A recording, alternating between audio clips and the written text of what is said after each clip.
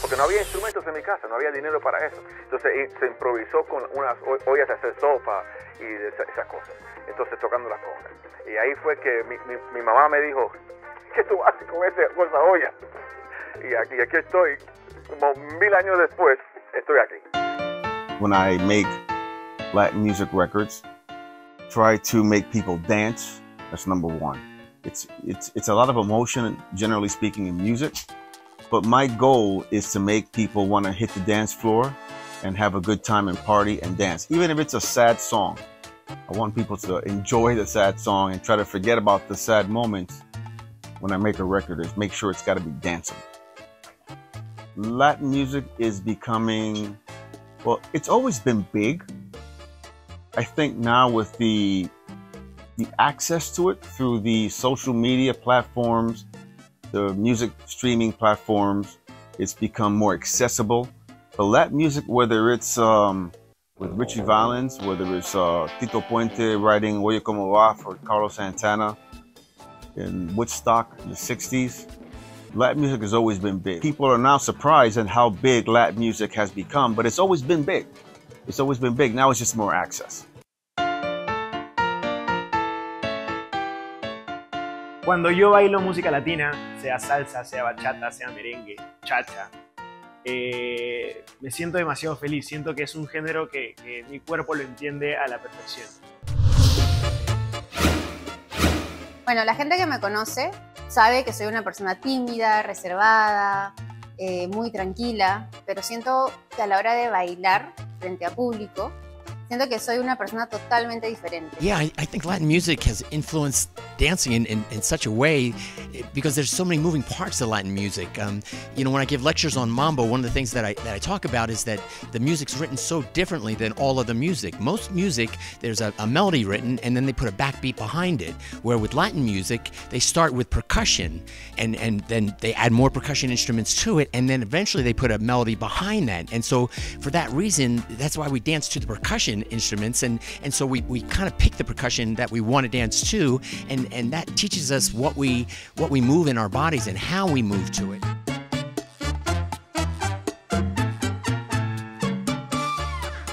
Soy Alessandra Barrios, soy campeona mundial de salsa y bachata y también soy bailarina profesional de los ritmos latinos.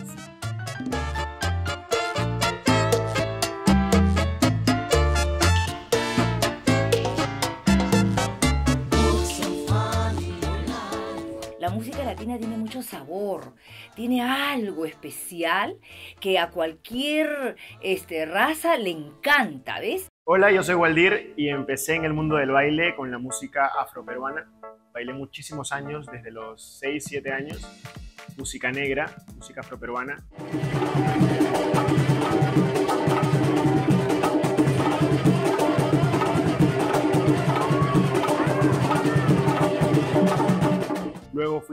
Eh, de dónde venía la música afro, de dónde venía eh, el festejo, el andó, la zamacueca, y llegué a Cuba y conocí la salsa. Yeah, I've worked with everyone from Tito Puente.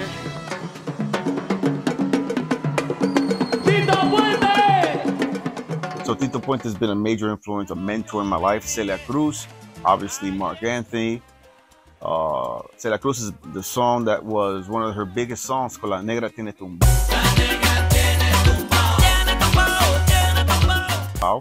With, a rapper.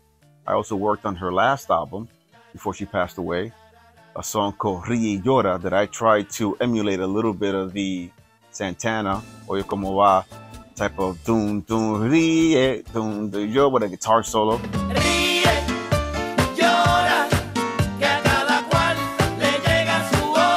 So that I've done obviously Marc Anthony from Vivir Mi Vida and all of his, his bigger hits.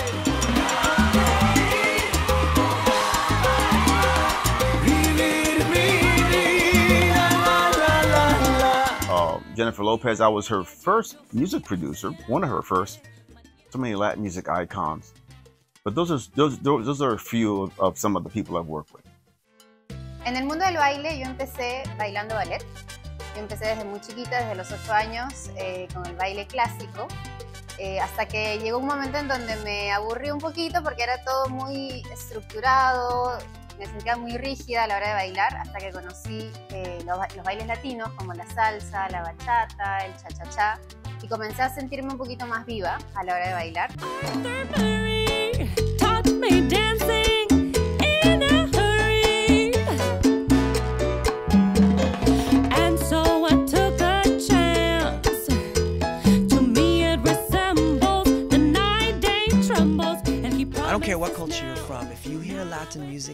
That conga and you hear that clave, um, then it's done. And those artists, uh, Azúcar, uh, Marc Anthony, they have always kept that consistent. And that's what dancers will pull from. They don't know that. They just have this talent of playing that song, but like we pull from that energy, from that tune, and that's what happens with the dancers. So.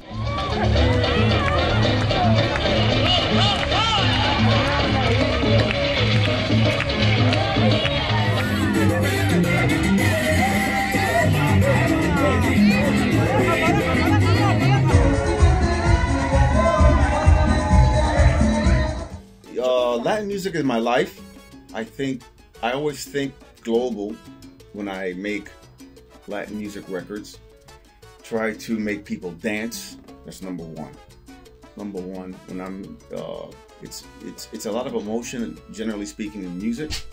But my goal is to make people want to hit the dance floor and have a good time and party and dance, even if it's a sad song. I want people to enjoy the sad song and try to forget about the sad moments and dance their sorrows away. So the dancing is the primary reason that I, the primary focus of mine in the recording studio when I make a record is make sure it's got to be danceable. Yo creo que la música latina tiene como respaldo el verbo en español, el poder conectar con personas que no hablan el mismo idioma y aún así llegarle al corazón a la gente con un idioma en español. Y si hablamos, por ejemplo, de la música instrumental latina, latinoamericana, que también tiene un lenguaje, aunque no haya palabras, tiene un lenguaje, es trascender. Y yo creo que es lo que está pasando. Hay, hay un trascender de los cantantes latinoamericanos hacia muchos mercados a nivel mundial y es una maravilla lo que ha estado pasando. Y el baile de por sí, yo creo que es pintura en movimiento. Siempre lo describo así. El baile es pintura en movimiento. Y es como componer. Así mismo pasa con hacer una canción.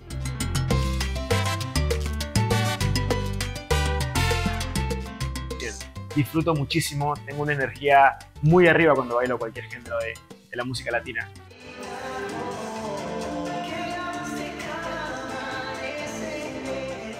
Every salsa mambo song has certain ingredients, you know, like a tumbao rhythm. Uh, it has to have like a, a clave rhythm to it. And if you can teach people how to find that, even in the most exciting, complex songs, they can re- reproduce it even on the dance floor, socially or competitively. I'm very passionate about it. I love the relationship between the music and the dancing.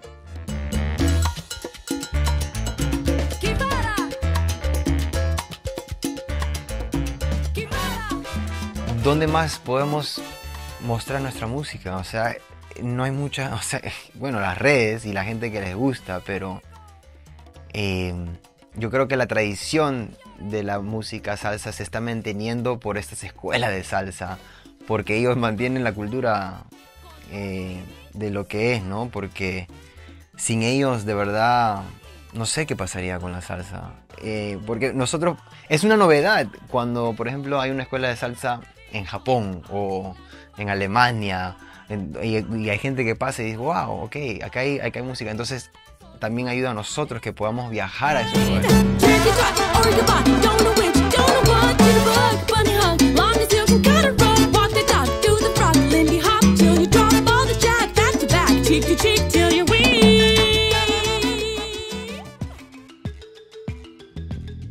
Yeah, DLG was formed because I'm always looking for tendencies and how to mix the, the latest tendencies with Latin Afro Cuban music. So DLG was born because at that time in 1995, reggae was very popular around the globe. So I combined it with salsa, as we know as salsa music, which is Afro Cuban music. And there was born DLG. My first member of the group was the rapper named James Da Barba. Juliana was a song that I grew up with by Cuco Valoy in the late 70s. And I said that'll be a perfect song to do as a as a tribute to the Dominican Republic and get the Dominicans on board more with DLG. But it has to be something where I invite the original guy, Cuco Valoy. So I invited him. He came over to sing as a guest. Uh, and we did it for fun. I had no idea what it was going to become. I didn't think about anything else other than having fun, making the song danceable from beginning to end, and it became a classic. Here, here we are 25 years later. People still talk about Juliana, Juliana, que mala eres. And it was a track done for fun, again, thinking about the dance floor.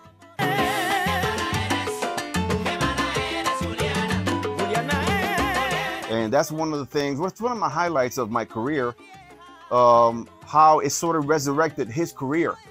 Valoy. Then after that, he got signed by a company. He started doing shows again because he was sort of forgotten after that. So my job is to make dreams come true, uh, sort of uh, make make people's lives better, uh, resurrect careers, make careers, dream maker. So I like to, I like to try to be a dream maker.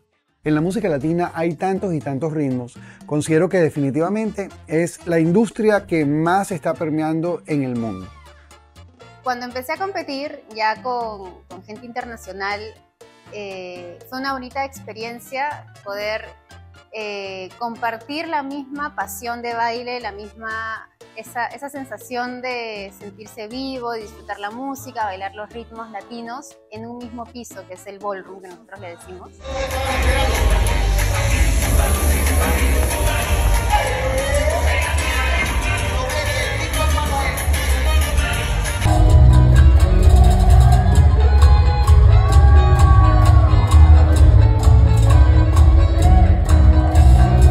Yo soy peruana, vengo de América Latina y normalmente todos dicen los de América Latina son los únicos que bailan salsa, cuando realmente incluso rusos también pueden bailar salsa, también pueden bailar cha-cha-cha, también pueden bailar bachata, y es que el baile no discrimina, ¿no?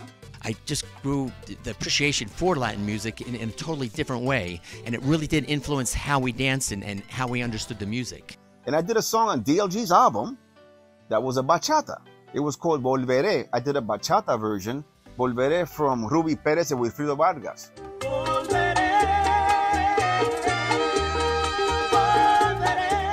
So I started doing bachata in 1998, 1999. I started because I saw that it was going to be a boom.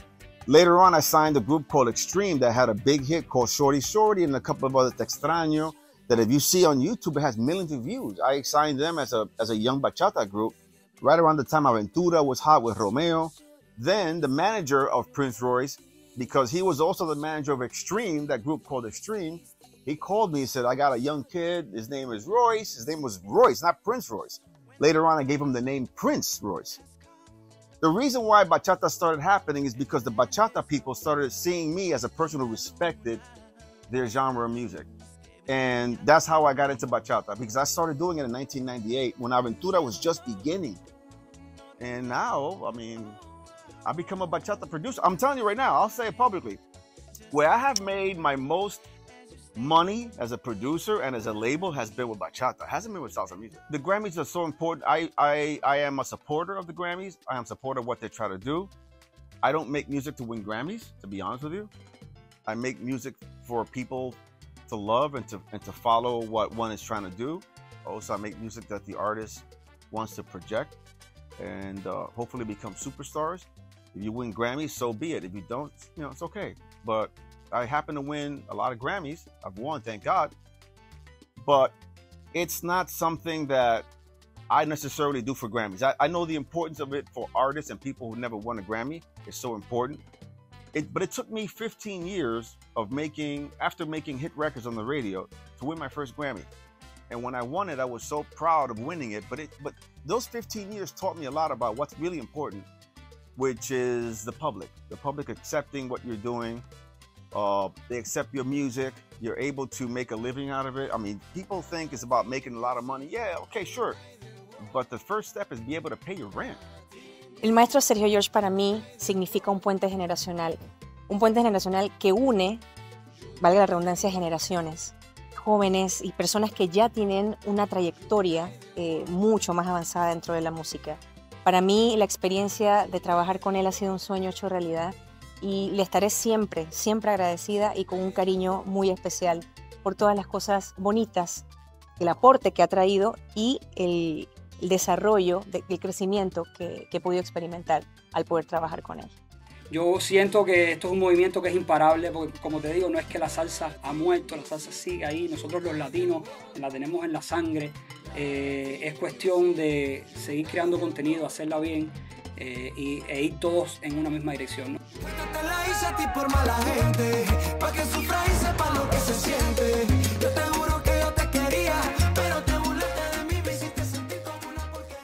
There's a new generation defending um, the tropical heritage and roots. Um, you know what Pacheco and Masucci did back in the six in the '60s. You know, and everything else that came after that.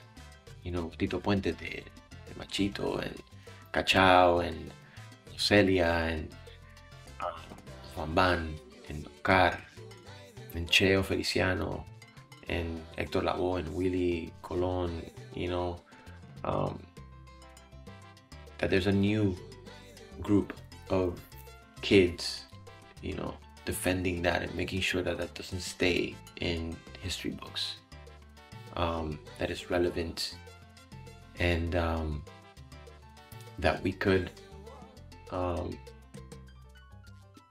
look around and and y decir como que, you know, somos juntos somos más, you know what I mean? que no es necesariamente que, que uno tiene que sentarse a componer una salsa con un ritmo eh, bailable, no, no, no, nosotros lo hacemos en reggaetón o lo mismo como en el tema eh, como si nada junto a Leoni Torres.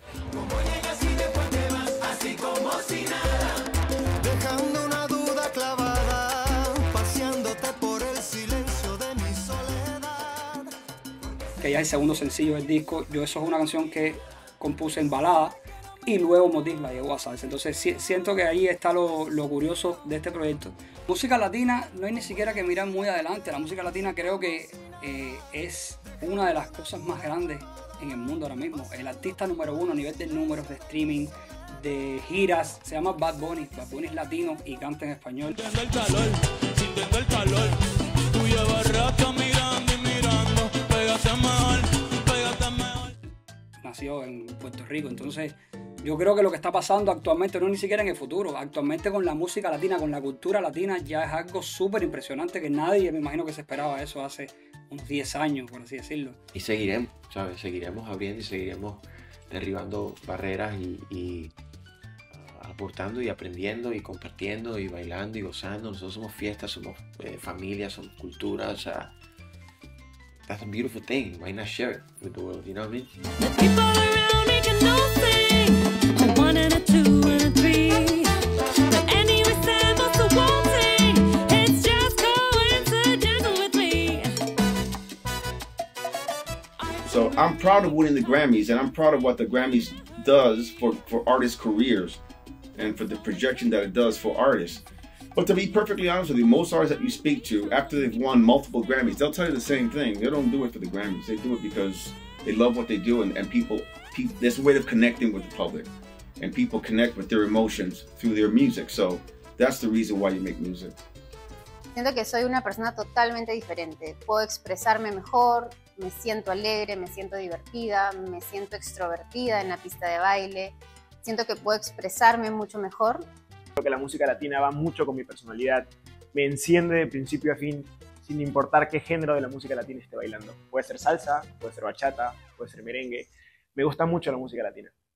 crossover for me is selling my music in my language not for me to having to do some other language to try to that's not crossover i said i want to have a crossover doing my thing my way in my language i said that eight years ago nine years ago and look what's happening now with the despacito bad bunnies and things like that. They're doing it in spanish language. So i'm so happy where latin music is is at right now where it's gr- growing where it's where, where it's going to go. It's really unlimited. Um, what you're seeing now is a lot of artists who are not Spanish speaking who want to come into the Spanish market and maybe even sing a few Spanish words, which is that was unheard of before. I mean, maybe it was a dream, but here here we are, and it's- it's only going to get bigger. I think you're going to see Latin music become the rate it's going. It's going to become the biggest genre of music in the world.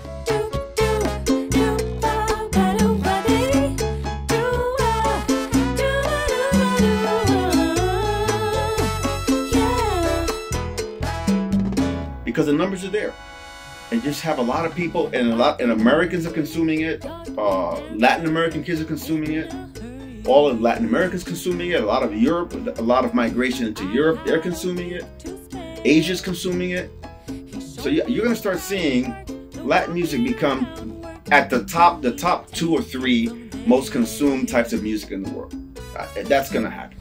I know it's a saying in many many uh, metaphysical situate societies. that tell you let go and let God. Well, it's true. Let's just let it go. Put it out there. What do I, well, how how do I want to live my life? What do I want to com- accomplish? And let it go. Because you don't know how you don't know where you're gonna wind up or how you're gonna wind up there. But just have it in your mind. You want to succeed. You want to get there, and then just let it take let life take you. So that's what's next. I don't know. I don't know what's next. I'm not even worried about it. I know whatever's next is going to be where I'm supposed to be. Hello there. My name is Sergio George. I am a music producer, music entrepreneur, music maker, noise maker, dad, professional, all the time. Most important, with integrity and credibility and a sense of responsibility. Sergio George.